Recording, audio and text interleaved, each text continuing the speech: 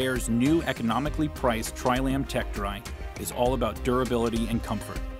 This self-donning front entry dry suit is made from a rugged, yet extremely flexible and lightweight polyester butyl polyester tri-laminate fabric. It uses two needle, fell stitched, glue and heat tape seams that are reinforced in all critical wear areas. The waterproof zipper is a high flex, low profile TIZIP MasterSeal, and the large embossed M pads knee pads are backed by 2 mil neoprene to offer superb lower leg protection. The Tech Dry is available with either neoprene or bottleneck latex wrist seals, a neoprene or latex neck seal, and either vulcanized 4mm compressed neoprene boots or soft socks.